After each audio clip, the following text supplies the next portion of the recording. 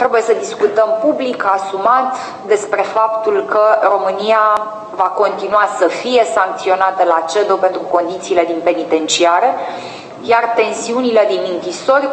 posibil să constituie în continuare o sursă de uh, probleme. De altfel,